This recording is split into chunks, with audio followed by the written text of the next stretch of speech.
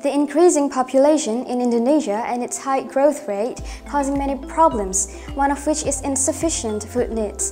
This causes the government to maintain the stability of food supply for 2068.58 million people. The increasing need for food is certainly needed agricultural technology to advance the quality and quality of food.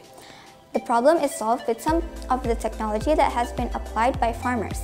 According to FATIA's survey, most farmers in rice fields have implemented technological innovations in the form of Lagoa learning systems intensively. And farmers in dry-based villages are quite intensive in implementing innovations and processing agricultural products. In addition, the use of local resources is one alternative to support agricultural cultivation. Some farmers have implemented one of the local resources in the form of photosynthetic bacteria as an agricultural innovation. The use of photosynthetic bacteria will increase the immune system of the plant. However, looking at the way it is applied in liquid form that tends to be impractical, of course, this innovation has not been fully developed. The solution to overcome this problem is microencapsulation with spray drying methods. Bacterial microencapsulation is a process to hold and protect bacterial cells with an encapsulation membrane in the form of suspension, emulsion, or dispersion, thus preventing decreased viability of bacterial cells during the process.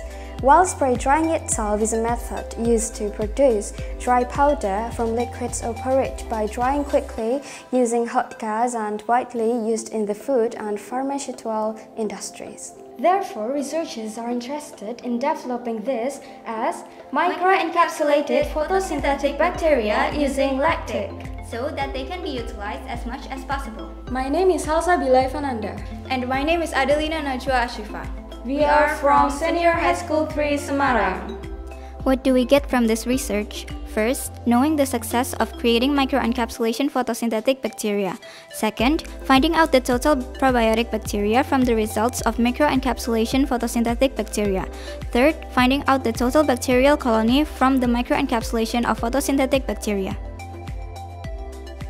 We used several tools and materials to do this research. The research was conducted through three stages of research.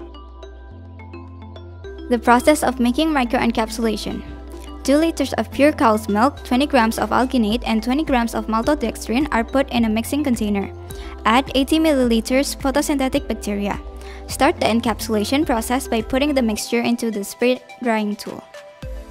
The calculation is done after the process of making microencapsulation in the form of powder.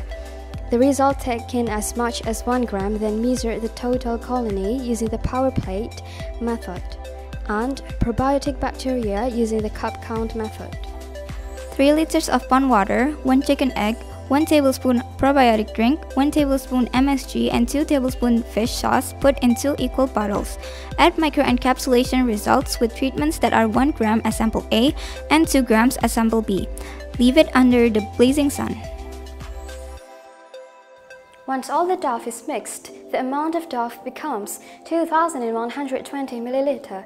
The result of the dough is then filtered into 1000 milliliter so that I can fit the spray drying machine with the condition Ti equal 170 degrees Celsius and To equal 85 degrees Celsius.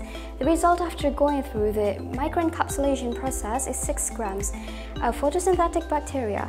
Therefore, the percentage of yield is obtained by 0.6%. It shows that the amount of extract was still light, showing the percentage hasn't touched the 1% of the Simplicia weight the because of the quantity's reduction with the heat that the machine has. With a dilution of 10 to the power of minus 4 and the provisions of standard plate counts, the data obtained from laboratory testing of the Faculty of Medicine Undip, the number of bacteria per Petri dish is 1 and the number of colonies in the sample is 1.0 times 10 to the power of 4 CFU per milliliters. It can be seen that there are still a few bacterial colonies, which means the spray drying method doesn't affect the reduction of probiotic bacteria that is the key of the product itself. We also tested the results at the Undip Integrated UPT Laboratory using TPC parameters, and it obtained results of 1.2 times 10 to the power of 6 CFU per milliliters. which making the statement stronger that the spray drying doesn't affect the reduction of the probiotic bacteria.